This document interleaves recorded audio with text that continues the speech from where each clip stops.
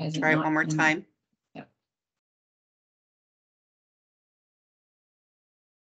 Stop the pinging. Everyone got it. All right, and we are going live. Go ahead, Jess.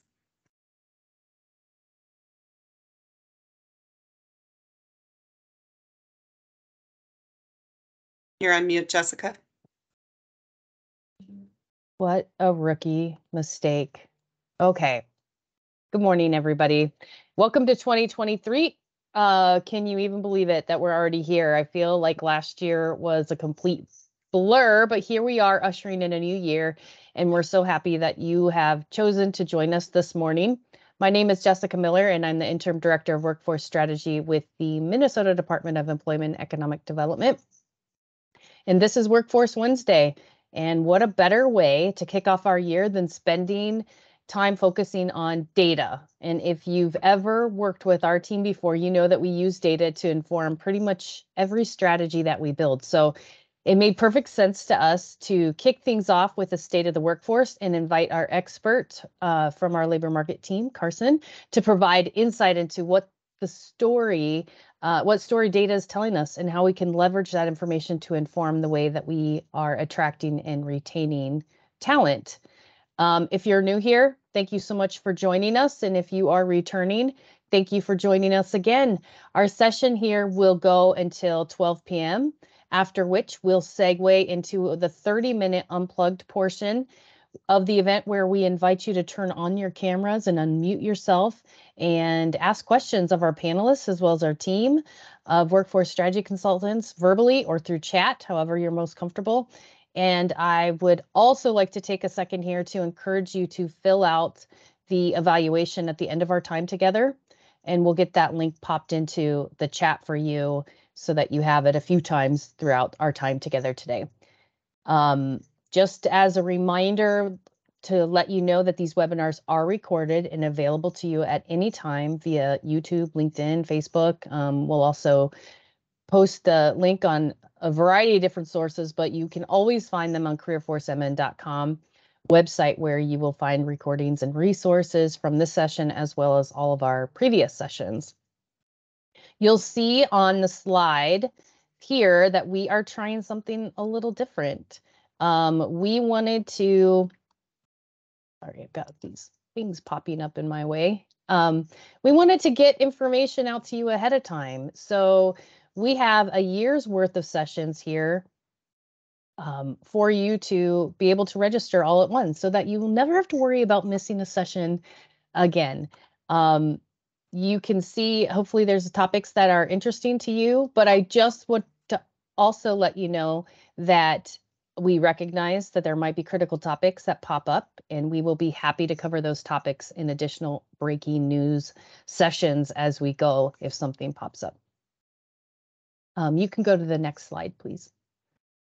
Our consultants work regionally, which means that each consultant will have a slightly different way that they do their work based on the region and the employers that they're serving.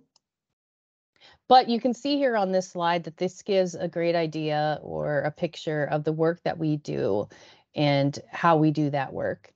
But want to recognize that we do not do this work alone. It takes um, a network of people to help all of our employers on the state be successful in working through some of the challenges that we're facing today with with workforce. But automatically, when you work with us, you're connected to a wide network of people, and we are happy to make those connections with you. Finally, we want to learn more about you, and I see names popping into the chat and titles, and that's all super exciting to see. Um, so thank you and continue to introduce yourselves to us and let us know um, how we can serve you or how we can help promote some of the work that you're doing or sharing best practices. So all of that throughout the session, please do add information um, and we will, and questions and thoughts as we go, and we'll get to that when we're able. Without further ado, I want to introduce you to Shayla Drake, who will be um, facilitating our conversation today and is serving as our Northeast Strategy Consultants. So go ahead, Shayla. Hello, everybody. So for today's topic, we're going to be looking at the current state of the workforce and see where we can still make an impact in our current labor market, kind of looking um, at what that data is telling us. Um, next slide. So um, our agenda for today is we're going to do an overview of the state of the workforce with a labor market update.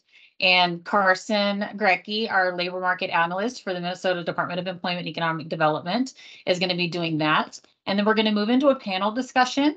Um, our panelists today going to be Carl Crawford. He's the Human Rights Officer for the City of Duluth. We've got Leanne Littlewolf, um, Co-Executive Director for American Indian Community Housing Organization, otherwise known as AICHO. We've got Tim Miles from St. Louis County, Dr. Tim Miles from St. Louis County um, BIPOC Leadership Team. Um, Sonia Prang, VP HR Services Operations from Intek Plastics, and Catrice O'Neill, Workforce Development Program Director from Brooklyn Park um, and BrookLynk, which is a joint partnership um, with BP and Brooklyn Center. Um, and then we have resources and then our unplugged session um, right after that. Um, next slide. So we've got our panelists, um, Carson, um, that I would like to introduce you to. We're going to introduce our panelists and then Carson's going to give our data update and then we'll talk about, um, move on to our panel. So Carson Gorecki, he's our regional labor market analyst for Northeast Minnesota. So in his role, he works to disseminate, disseminate and demystify labor market data um, that organizations and businesses, job seekers, and anyone else in Minnesota can use to make well-informed decisions. He lives in the Duluth area with his partner, daughter, and two cats. Um, then we have Carl Crawford. He's a human rights officer for the city of Duluth since 2016. So he serves as their equal opportunity representative. He's responsible for enforcement of policies against discrimination and harassment, for promoting accessible and diverse workforce within the city. And he also serves for the city of Duluth's ADA coordinator, working to increase full accessibility to all city services and programs. So Carl also works with the Duluth Human Rights Commission to promote appreciation for diversity and elimination of bias and hate within um, Duluth to enforce city and state human rights laws. Next slide. We have Leanne Littlewolf, who's co-executive director for AICHO, um, American Indian Community Housing Organization. Um, and she's worked there for, um, she has worked for nearly three decades in advocacy, direct services, and community organizational leadership. Um, the American Indi Indian Community Housing Organization is a nonprofit community development organization in Duluth that puts Indigenous cultural strategies in action to respond to community challenges and opportunities. Then we have Dr. Timothy Miles, who is a master's level social worker with Child Protective Services and a crisis negotiator with St. Louis County Emergency Response Team. Dr. Miles holds a Bachelor of Arts in Psychology and a Master's of Arts in Education um, specialization in family and community services and a doctorate in community care and counseling traumatology. He exhibits exper experience in working with diverse groups of people and as a member of St. Louis County's BIPOC leadership team. The BIPOC leadership team's goal is to collectively support leadership to promote a sense of belonging and to create inclusive and positive work environment. Next slide. Then we have Sonia Sonia is the VP for Human Resources and Service Operations for Intek Plastics. She's been there for almost eight years, and prior to that, has had 20 years of human resource experience, with 10 years of that spent in manufacturing.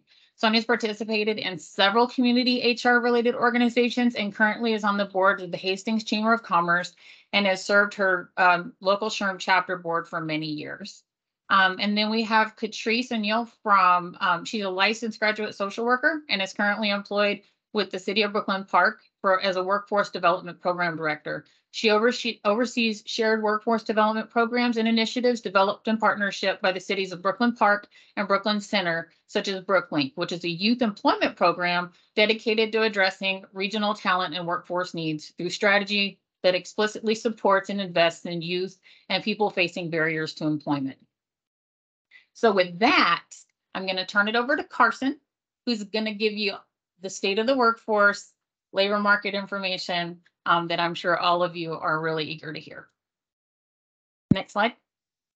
All right, thank you. Yes, I know that we are on the clock, so I will be succinct and uh, My goal today is to kind of set the table so that our panelists um, can really be working from a, a shared um, uh, understanding of where the labor force and labor market are today. Um, a lot of recent news coverage has detailed the tightness of the labor market, uh, how difficult it is uh, to find and hire workers relative uh, to before the pandemic. It is objectively true that there are fewer people looking for work than before the pandemic, yet there are still many people and groups that remain overlooked and underutilized in the workforce. Today, I'm going to some, uh, present some information uh, that will hopefully provide a shared understanding of where the impacts might still be made by employers and workforce development professionals. Next slide, please. Oh, actually, stay on the previous slide. I jumped ahead. Thank you. Uh, one of my go-to labor market mantras is as the population goes, so goes the labor force. Um, the labor force is the number of people that are either working or actively looking for work. Um, so I usually begin uh, with this slide showing how our components of population change, which is births, deaths, and migration have changed from before the pandemic. Prior to the pandemic, Minnesota averaged a population increase of about 33,500 per year, about 75% of which could be attributed to the difference between births and deaths, which we call natural increase. The other quarter was from international migration, um, less domestic migration. However, in the first year after the pandemic, we saw a population increase of less than a thousand, or about 3% of what it was, um, the annual average of what it was before the pandemic. And the gap between births and deaths closed. Um, and a, decre- a decrease in international migration paired with a large increase in the number of people leaving for other states has led to negative migration. So you can see that just the demographic shifts uh, have been not in favor of increasing our labor force. Next slide, please. And this is just to kind of emphasize the point that the migration trends are not just Minnesotan. Um, this is uh, nationwide. So this is the nationwide international migration trend uh, leading up to and through the pandemic. Um, you can see that international migration had been declining even before the pandemic. Uh, recent data that aren't shown in this slide have shown us increasing back up to about a million uh, positive in migration internationally, um, but it's going to take a while for that to impact the labor force. Next slide, please. Labor force participation has declined overall since 2019 in the state, um, yet there have been some exceptions, uh, most notably for teenage workers. There is some overlap with those workers uh, with the less than high school degrees that you see there with the plus 0.5%. Um, but there was also an increase in participation for those with college degrees. Uh, show this slide to show that while overall there's been a decrease, there have been some notable exceptions. Next slide, please. Employment data can show us a little more detail on how these changes by age are playing out young workers really have taken advantage of increased opportunities and rising wages. Uh, the oldest workers have also returned more recently to show an increase in number of jobs as well. You can see those on the ends of the age spectrum here in the chart. But large declines in the prime working age groups mean that we're still down from 2019 employment levels overall. Next slide, please. Most people considered to be out of the labor force do not want to work. That's the vast majority. Uh, they're either retired or, or et cetera. We are more interested in those that are interested uh, in working but are not looking for a number of reasons. And that's what this pie consists of. The estimated number of people in Minnesota that are interested in working but not currently uh, looking is around 100,000 people, or about 7% of that total out of the labor force number. That is up from 60,000 people and 5% before the pandemic. So there are factors here that are keeping more people in this kind of gray area uh, where they would work, but there are certain barriers uh, preventing them from, from looking for work. The share of that group citing ill health or disability or other transportation and childcare is up over the last year.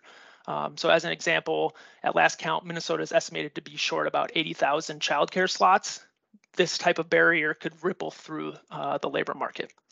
Next slide, please.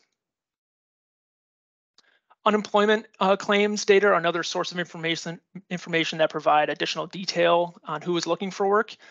Um, as more young people enter the labor force, the number of unemployment claims by them also rose, plus an increase in eligibility for the youngest workers may explain why that share has risen as well. The most overrepresented age groups relative to their presence in the labor force um, are the prime working ages, so 30 to 59, uh, about 1.3 times as many claims as they are represented in the labor force. And then the ratio for older workers is much lower, most likely reflecting the fact that if an older worker is out of the labor force or out of work, they're more likely to exit the labor force uh, altogether. Next slide, please. This is showing uh, UI claims by educational level. Uh, we've seen increases in the share of UI claims for those with the least education, high school or below, but also an increase uh, for the most, uh, those with most education in the last year. When compared to the labor force, high school grads are the most overrepresented in UI claims, about 21.2% of the labor force, but 40% of UI claims this year. And those with bachelors are 40% of the labor force and 17% of claims. So you can see how there's a difference there. Um, and those with some college are about even, 33% of labor force, 35% of claims. And then uh, those with less than high school are 6% of labor force and 8% of claims, so also pretty similar. Next slide, please. The distribution of UI claims uh, by is most is perhaps most uneven by race. Um, while the share and number of claims for white workers is down from pre-pandemic, they're up for all groups of color, most notably Black or African American workers, who represent just under 6% of the labor force, but over 21% of UI claims. Um, so a pretty big disparity there. Similarly, Indigenous workers account for 0.9% of the labor force, but double that in share of UI claims. Um, next slide, please. The labor force uh, participation rate um, shown here for a, a few um, racial and ethnic uh, categories. Uh, over the year, we've seen some positive growth in labor force participation of Black workers, uh, while the labor force participation rate for white workers sat flat and declined for Hispanic workers. Um, not shown in this chart, um, for reference, the labor force participation rate for Native American Minnesotans was an average of 57.4% between 2017 and 2021. Um, that's from a different data source, so we can't compare it exactly, but that's compared to about 69.2% for the overall um, population. The groups with the lowest labor force participation rate are 65 plus workers, those in poverty, those with disabilities, uh, teenage workers, and those with less than a high school degree. Um, all of those um, are 66% or below. And when you talk about 65 plus workers, it's 28%. Those in poverty, around 50%, um, as with those with disabilities in teens. Um, next slide, please.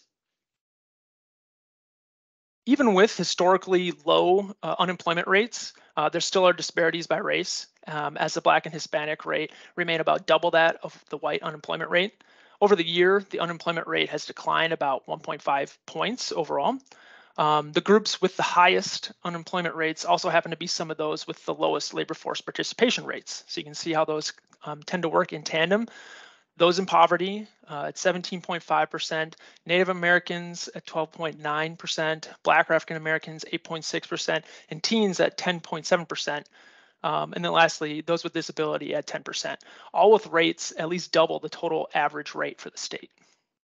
Um, so to sum up, uh, yes, there are fewer job seekers that go around for more job openings, and some of this is due to long-term demographic trends and shifts um, that are difficult to reverse, such as an aging population um, and international migration.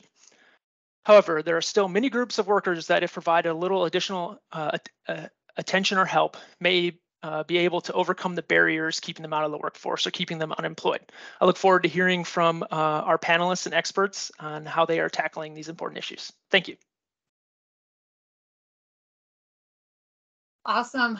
Thank you, Carson. So there are a few interesting points from the data that I would like to bring back to the group for discussion. So we can see um, from the data that over half of the individuals on unemployment had some college or higher and um, only the UI shares to decrease was white workers, and the share of claims by workers of color is disproportionately high. And lastly, the groups with the highest unemployment rates in Minnesota are those in poverty, Native Americans, African Americans, teens, those with disabilities, um, all over 8.5% compared to the state's current rate of 2.3% right? So thinking as an employer, looking for an opportunity to find people, right? Looking at this as an opportunity to tap into available candidate pools and helping to move the needle in hiring and retention, right? So trying to say, getting excited about what can we do, um, this is where I want to like dig in, right? The first thing to do is why might these gaps exist, right? Asking those questions. So um, I want to pose a question to Carl and Leanne. Maybe, you know, how would I want to think about maybe how would we define the difference maybe between equity and equality, maybe specifically in the workforce, because maybe that could maybe be a defining shift as to maybe why some of these reasons exist. Good morning, Shayla. Good morning, panelists. Um, thank you first for allowing me to be a part of this dynamic panel. Um, the difference between equality, obviously, and equity, we've all seen the slides in the past of the people standing over the fence and different people on different crates, right? And equality obviously means that two people receive the same thing, has the same value. Equity, though, is something much different, meaning that those people have what they need to succeed, each individual. And one of the challenges with that fence or that barrier in that slide that we notice is who puts the fence there? Who has the power to remove the fence? So when we start to look at workforce and how we show up, we we don't have a chance to really look at the mental, the microaggressions, and some of the other capacities that impact your workforce before they even show up and how those dynamics change a community and change how we see each other and how the world sees us as future employees. And I'll yield there for my other colleague. Thanks, Carl. Yeah, um, good morning. I'm Leanne Little Wolf. I'm the co-executive director of AICHO, and I always like to start with my traditional introduction. So I'm just going to do that really quick. Um, Indisogijik, Indigo, Mainga, Nindu Dame, and Zagasqua, Jimikog, Nunjaba. So I, I'm a U.S. citizen, but I, I am also a tribal citizen of um, the Anishinaabe Nation, and I'm a band member with Leech Lake. And um, this question around equity and um, equality, I, in my opinion, um, equity addresses the reality of, of equality. So if we don't have equal access, then to me, equity is like the way that we address that. We look at the root causes, what are the challenges? So, what Carl was talking about, um, we know what some of those challenges have been. And I think equity is, is more around a framework of thinking like problem solving. So, how do we help everyone have equal access? Understanding that there's different um, circumstances and scenarios and back historical context. So I think that we need to think in a, a global context, and then we also have to think individually what people are dealing with where they're not having that equal access. Um, I wanted to thank, thank Carson for all of that um, data because just as a as a community member who thinks about workforce development, I've been looking for data and like for Native American communities specifically, and a lot of times it's really hard to find that data. So it's really um, I've connected with a lot of different community members saying like I need I need, would like to have some owner home ownership data. Um, what is our unemployment and education? And um, I was connected with Carson, and he gave me a, um, some specific information for Duluth and Northeast Minnesota. And I think that when you start to look at that data, you start to understand like where is there inequity? Where are those disparities? And then you can start to kind of isolate okay well i see that there's a lot of graduates but for this population but they're not finishing college. They're going into college but they're not finishing college. So what's going on there?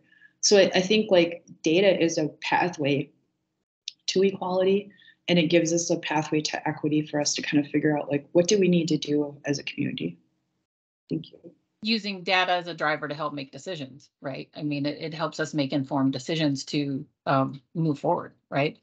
yes yeah.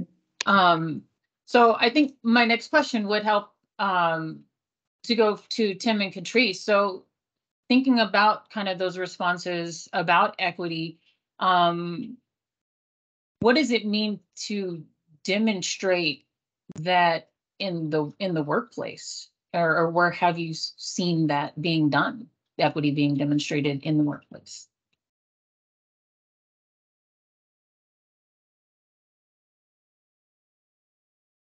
Good morning. I don't know which one of us should go first, so I'll just jump in for us, Tim. Um, thank you everyone for having me here. Um, you know, I think what it means to demonstrate equity in the workplace, typically what we see is employers or businesses really thinking about equity through the lens of providing fair treatment to employees, access to resources and services, opportunities for advancement, inclusive working environments, and kind of, you know, the list isn't exhaustive, right? We know all of the different ways that we try to take action and demonstrate, but I really believe that in order for us to fully demonstrate equity in the workforce, we really need to be taking the opportunity to understand and acknowledge trauma and systemic barriers first and who has been disproportionately impacted um, and historically impacted in the labor force and workforce.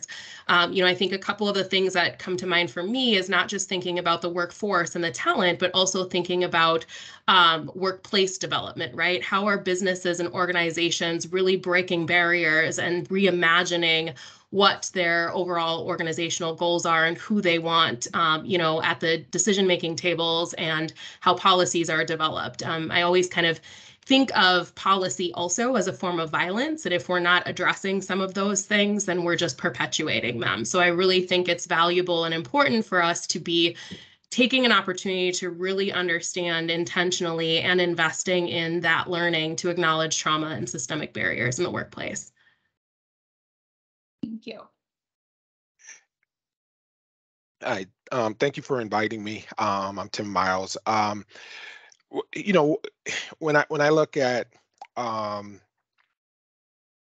our county, um, St. Louis County is one of the, you know, geographically we're the largest county in the state of Minnesota. So we we cover a lot of ground, and um, diversity, equity, and inclusion looks different across our county and w- we serve and we continue to serve um, a growing population of diversity. And, and so I think when you look at that, you know, you have to think about, um, you know, fair treatment, um, ad, uh, advancement, and the opportunity to advance, and what that might look like. Um, in our history of our county, um, it, our tactics or ways of uh, inviting people to advance um, looks far different now than it, it had in the past. And so um, we're really concerned about meeting the needs of all the people in our county and all the people that we serve. And to be able to do that, you have to be able to um, recognize you know the the population of our county and the change in the population of our county and be able to meet our people where they're at That's something you hear a lot now, right? Meet everyone Mhm. where they're at and then, um, you know, you're only as diverse as the community that you serve, serve. right? yes Um, so, and I, I'm gonna pose this one to, to Carl and Sonia. So is equitable access only about race or ethnicity? So I mean, you guys take that in either order that you want, but um, when we're talking about equi- equitable access, is it, is it only a race or ethnicity question? Well, I can start, Carl. Mhm. Um, uh, uh, obviously, I think we all agree that it's much more than that, right? Um, and it can be anything from, you know, your background, um, maybe it's your, you know, family status, things like that. So anything that's a pre-existing barrier that an employee might come to us with, right? And so, um, we, you have to look at, you know, that access very broadly um, which is what what we try to do too. You know, we have a union environment in our manufacturing plant, and um, you know, for the union, everything is about seniority, right? Seniority is key. Um, but as we have these discussions with them and um, meet with them regularly about our workforce, you know, we're really trying to look at a, a broader um, sense of of our employees' um, access to things and and how we define, you know, like we've talked about, and like Carl, you mentioned, um, how we define equity um, within, you know, our environment as well, and how we can think of other things, um, even within that, you know, union environment, which tends to be um, a little bit inflexible, right? And um, also uh, very defined by the contract, but um, there's so many things that we're doing around diversity and and that that access even within those confines. So Awesome, thank you. Sonia, you said it so eloquently. I agree one hundred percent uh, in what you said, but I also want to go on record, Shayla, that race does matter. Mhm. Um, and I want to make sure that that point is, is, so it's not always about race, but race does matter. Absolutely. So, um, gonna go this one to Leanne and Catrice.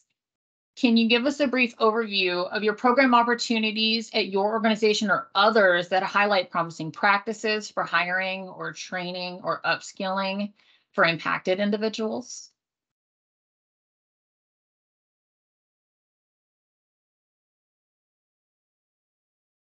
I guess I'll I'll go again.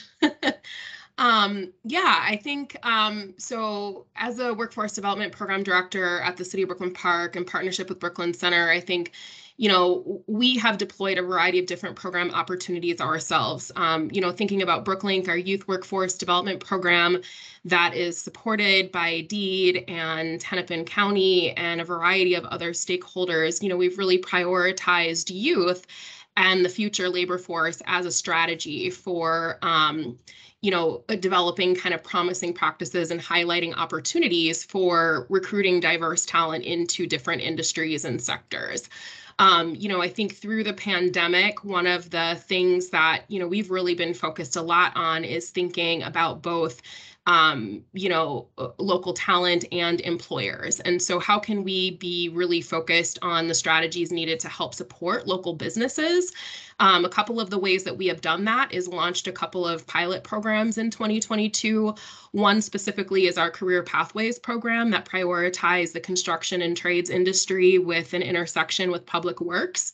Um, at the City of Brooklyn Park and Brooklyn Center, we actually um, reduced the age of employment for our public works positions to 16 and 17 to help build a better labor force and more diverse labor force um, into public works, which is traditionally an industry that has been predominantly male and white um, for pretty much all of its eternity in existence. Um, so, you know, really thinking about that as a stri- strategy for um, providing training and internships and employment opportunities in industries that have been um, traditionally not represented by um, diverse communities. Um, another way that we've supported local businesses is really thinking about those who have had limited capacity and resources. So, um, in partnership with kind of, you know, at the city, we have the good fortune of having a business coordinator as well as our workforce development programs. And so, thinking about where the intersections are between those programs and the um, strategies that we have at the city, um, we launched a youth entrepreneurship program that provide provides wage subsidies to small businesses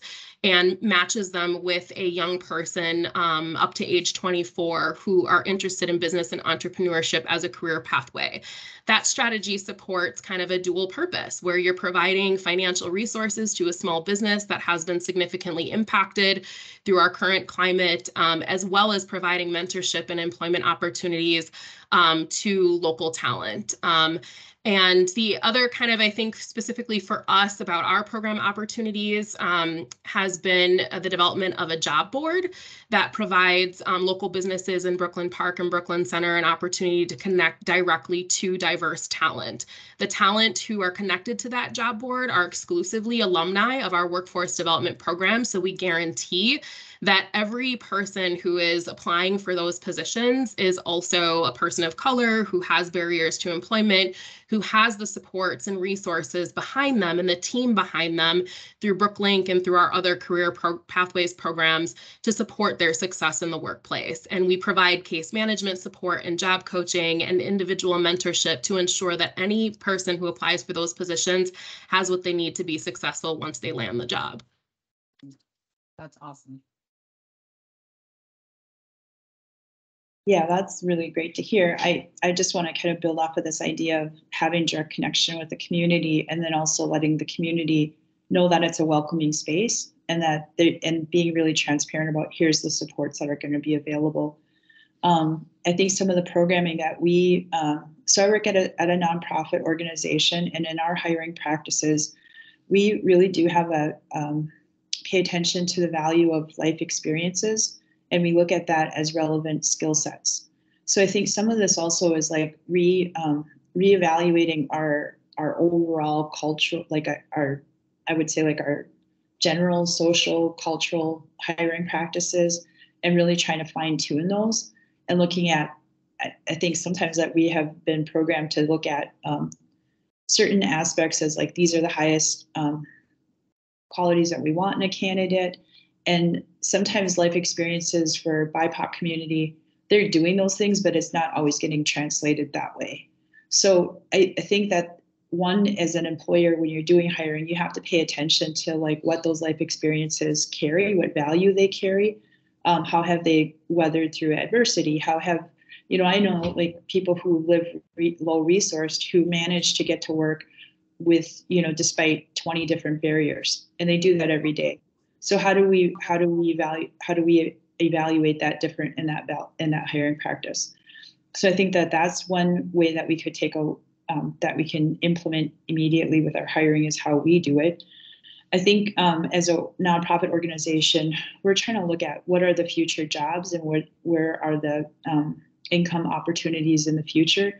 So we're looking at healthcare. So we've been building relationships with healthcare employers and it's not a one-time meeting. It's ongoing relationship and it's meeting um, on a continual basis and talking through their workforce development um, what opportunities do you have? And like here's the challenges of our community here's the strengths of our community.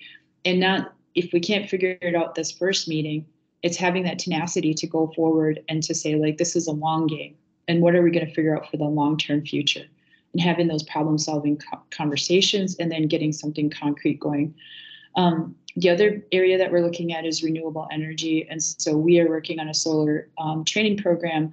We're going to put cultural design in there. And so I think it's around like really starting to name out some of these elements of like what's different about this training program and why is it effective and and really naming it out so others can learn from it and then also try.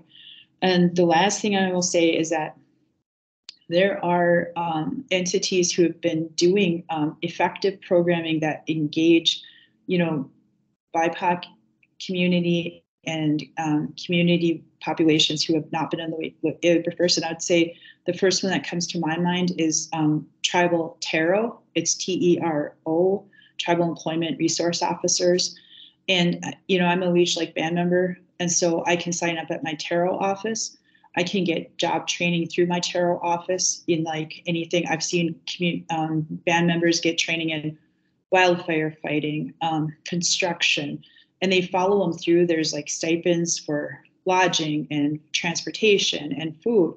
And um, they, I know that um, I have family members that went through a, a, training program that took years to get in place. They worked with a, a union to get this training open to band members. So I think it's like we should really pay attention to how they have done their work learn how they did that and then like learn what their strategies are. And i'd like to see more highlighting of those programs. I think there's a american indian oic which works really effectively with bipoc community members in the metro area. I'm really curious about what they do and how they do it. And i also know that um, deed through this our state agency deed funds a number of workforce um, development partners. And it would be great to have those partners highlighted, like how have they been effective and what have been their strategies so that we could all learn together. Absolutely. Thank you, Leanne. Absolutely. Um, so, you know, the, we're talking long game, right? Leanne's talking long game. So I'm gonna have Carl and Tim talk easy wins, short game, right? What are some easy wins? What are some key advice that you can give to some businesses that they leave today that if they want to start doing some some work on site, what are some easy wins, some things that they could do right now if they wanted to start doing some of this work to maybe increase and attract and retain um, some of this available talent that we can see by the data that's out there. I can So start. that I, I would say that yeah. Oh, I can say that there, I, I think there's a, a, a number of areas. There's the leadership, um, there's the hiring process, um, the retention process of the, the, the, um, staffing that they currently have. And then there's the budgeting process as well. And so I, I would start by saying with leadership, um, having the opportunity for leadership to understand and embrace um, uh, diversity and um, equity, inclusion, and that, and being able to understand the differences and that it's okay to have those differences.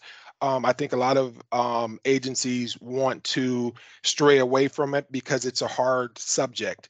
Um, but what it does is it it it creates um, divisiveness in that as well. So being able to embrace it and know the differences and and and and be okay with the the fact that you have those differences um, on the leadership side is one thing. Then you know you talk about the hiring process um, and making sure that um, you know their hiring practices don't have any biases in it and it, which gives others opportunities to be able to not only um, flourish as they're being hired, but it also gives those those uh, individuals um, who are seeking promotions opportunities um, at promotion without barriers and and and um, without hiring barriers in that as well. And then um, when you talk about the um, retention piece, is understanding and listening to the people who work under you, the people who work for you, and having conversations about uh, what their day-to-day work looks like, uh, what barriers they see in their day-to-day work. Um, it, it brings me to an example. Um, when I worked under the jail division of the county, um, they were hiring for a sergeant position. And there was this um, individual, BIPOC individual, he asked the question of uh, if this job doesn't work out or if I don't, you know, work out in this position, do I have the ability to go back to being an officer? You know, and how that was taken for him or by the committee was that he wasn't capable of doing his job. Um, instead of looking at the fact that this guy enjoys what he does so much that he doesn't want to risk losing that job.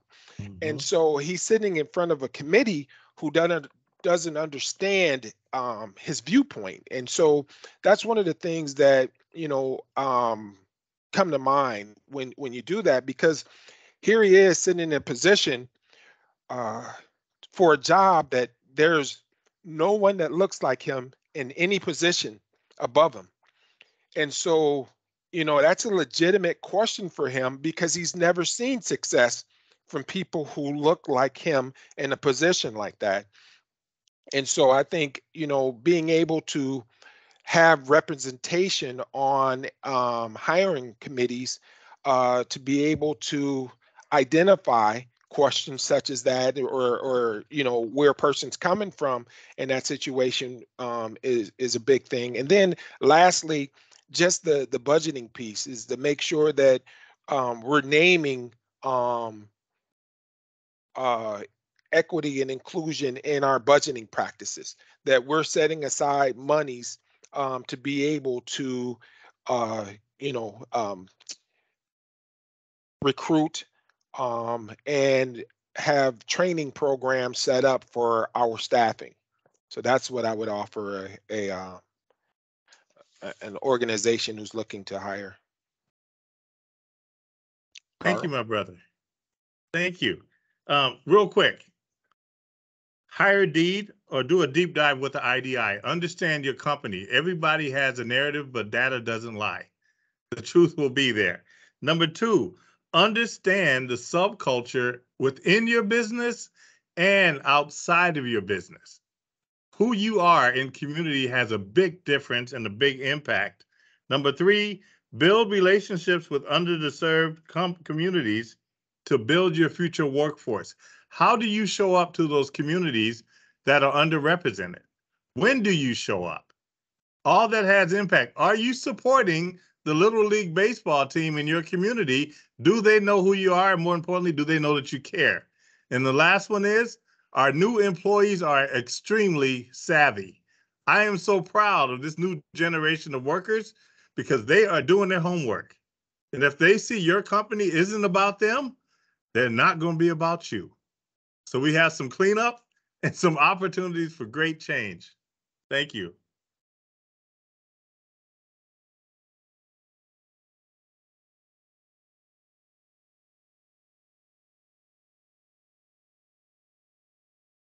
Shayla, Shayla, you're on mute.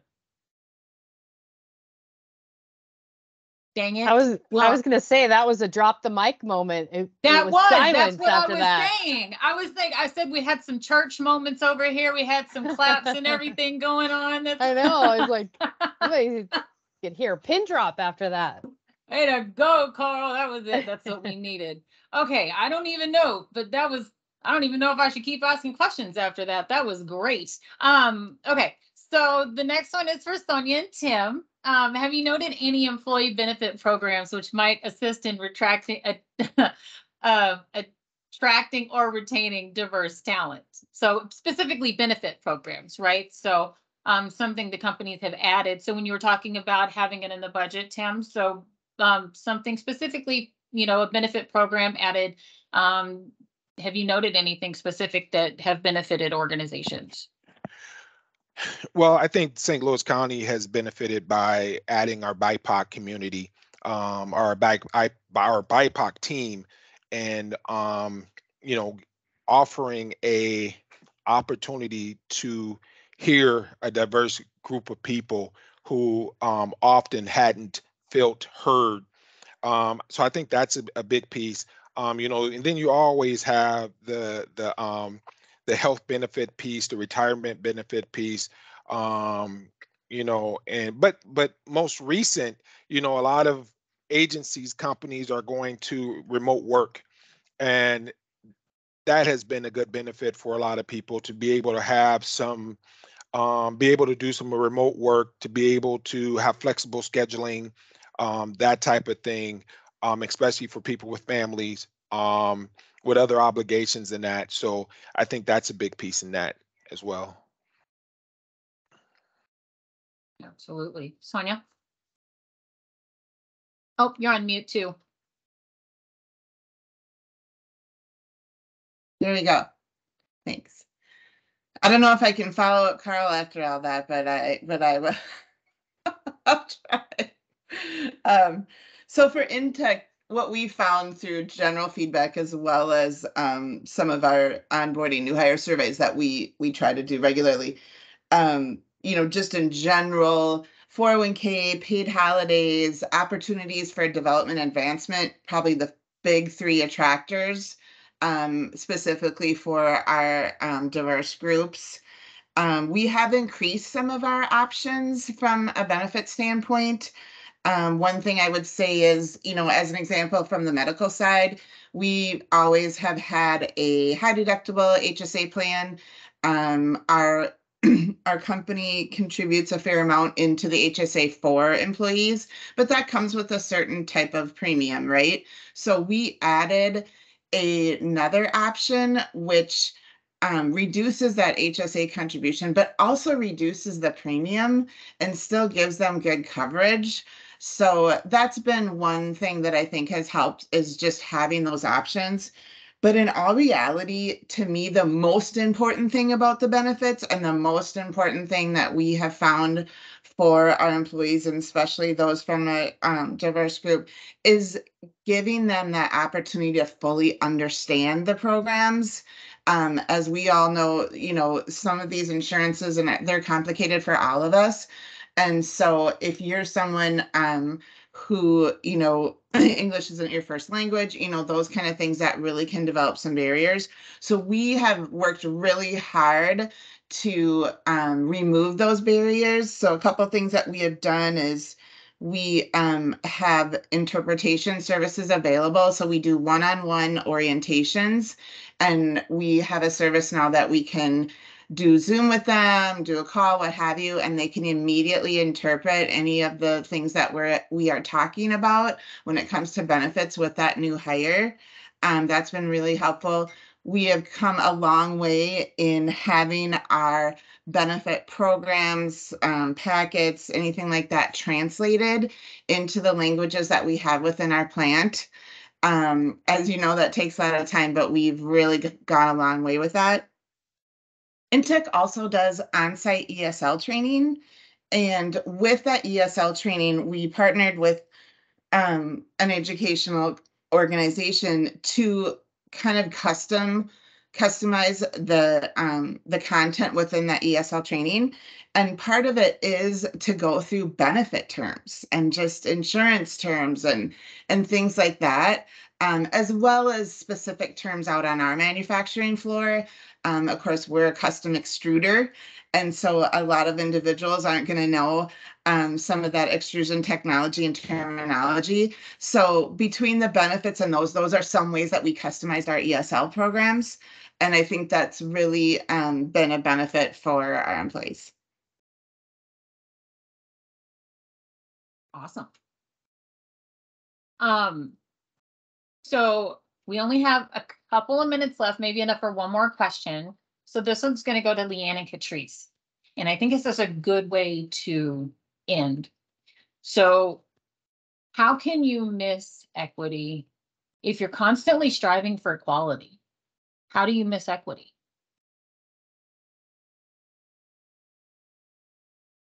Right, I'll keep it consistent and go first on this last one. Um, I think as Carl mentioned earlier, you know, we know that um, equality and equity are fundamentally different. And in today's climate, we see a lot of emphasis placed on DE and I, and it's not an accident that the E stands for equity and not equality. Um, if we know that equity is providing people with what they need versus treating all people the same, then we have to really be intentional about investing in the resources. And I think Tim also mentioned this earlier that employees need to be er, we need to invest in the resources that employees need to be successful. Um, I think the missed opportunity is really um, the missed opportunity opportunity for true equity. I think is really where I have seen um, businesses really kind of or employers lumping equity and inclusion together um, and um, you know, which places emphasis, I think, on showing employers or employees that they're valued and respected, um, but has a very low cost, right? So it is far easier, I think, to um, review safety policies or to post on equity statements on a website than to really look at a budget to see where we can financially prioritize training, mentoring, or even support services to reduce barriers for employees, such as transportation or childcare, which also was mentioned earlier, food, housing, um, which are some of the things that we see in our most disproportionately underserved individuals and communities in um, the workforce. Um, you know, I've also heard a lot of uh, heard a lot of employers hiring DEI managers, but not allocating any financial resources or budgets towards that work. And so it's not enough, right, to just hire a racial equity manager or a diversity officer and then leave them with no resources to do what they do for your organization to advance and grow. And so, um, you know, I would say that that coupled with the lack of investment, financial investment overall organizationally is really where some of the misses are.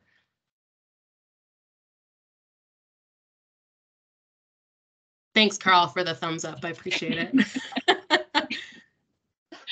yeah, yeah. I think like this whole conversation about like that we have this labor shortage and we have a we are looking for talent and organizations and businesses are in need of that you know of labor. And then we have this pool of untapped talent and skill sets and life experiences that can that can come in and become great employees and great parts of the company. And i think this question around equity and equality it's around equality requires us to think about problem solving and understanding the historical context in some cases of why some um, community members have they have stopped looking for work. And i think we have to ask the question like why did why did they stop? Like what are the frustrations or the challenges or the barriers that have stopped people from want, wanting to look? I um, i have a family member who looked for two years straight for a job even entry level and has very dark skin. And i think that there's some things that we have to think through. How do we create welcoming environments how is our hiring process welcoming? What are some of those other strategies that we might not have had to do before because there was more than enough workers? So I, I think that, you know, I've heard in this conversation that this is an opportunity and it, it really is an opportunity for our communities to become overall better. I think when we have more people employed, our, our poverty rate drops. We have more people earning income. Just overall, it just makes sense for us to do these strategies. And the other thing is, there's lots of resources and examples of how you can do this, be equitable.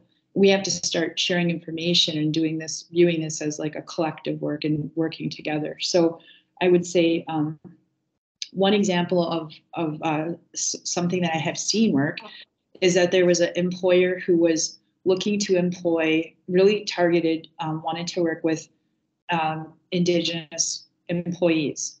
And so when they did their training program, they hired Native trainers to do the program, and they they included uh, work on historic trauma. Now, until up to that point, I had never heard of a training, a job, a workforce development training program focus on historic trauma, and under the for the participants to understand what it is and to understand the impact on their own individual lives and how it impacts them at work. I think that those are the kind of strategies that we have to look at. And I think before, maybe we haven't um, needed to because we had so many workers, but we're in this place where we're an incredible opportunity to really improve and refine our like hiring strategies and our retainment strategies. So I, I think I'll end with that. Thank you. Absolutely. Thank you, Leanne.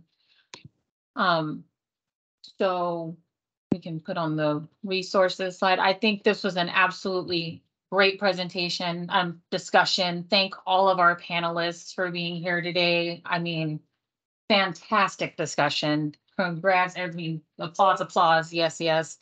Um, so there's the resources for everybody. The, the presentation was recorded and it'll be available, um, afterwards. And we'll make sure all the resources available for everyone as well. Um, so we have the LMI data tools, um, links to the Brooklyn Park, um, links to the resources, uh, uh, us as the consultants. Next slide.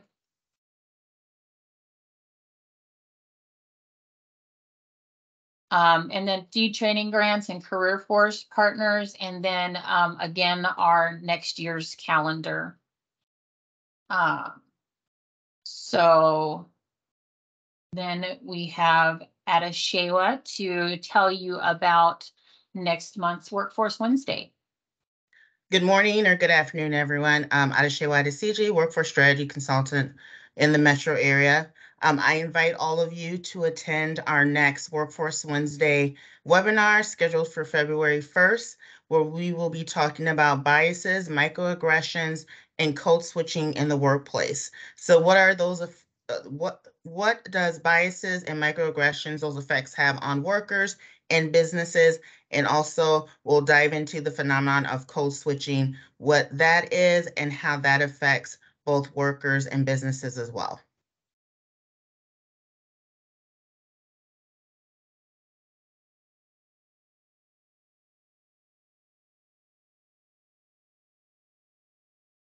We would like to thank all of you for joining us um, for the main session, and we'd like you all to stick around for the unplugged session immediately following this one, where you can unmute yourselves, um, turn on your cameras. So if you'd like to ask any one of our panelists um, directly any questions, um, feel free to do so. You can also type them in the chat. So this is where we can get comfortable, talk to each other, um, and just have um, open conversations. Um, if you re registered, we're also going to be sending you the recording and the resources from today's session. Um, and then feel free to reach out to us for any questions that you have. We're also going to put a survey in the chat. Um, and again, the links to our page.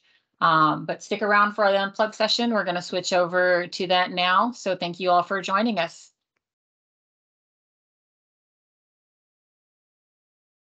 Mm-hmm.